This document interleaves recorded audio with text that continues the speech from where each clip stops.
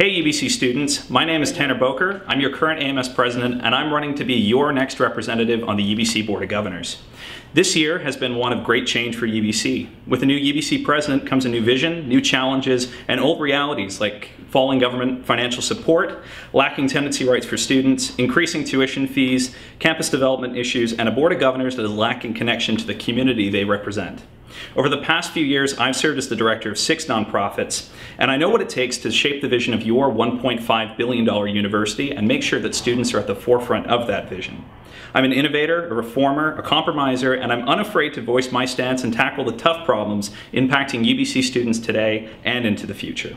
As your Board of Governors representative, I intend to focus on the areas of responsible campus development, introducing a new board policy on tenancy rights, including indexing rental rates to the existing Residential Tenancy Act, reshaping the position of the board on increased government financial support, and bringing your student and bringing your board to the students to learn firsthand the experiences and issues that face students today. You can learn more about my platform and my experience at votebokor.ca. Thank you, and I look forward to your support in the upcoming elections.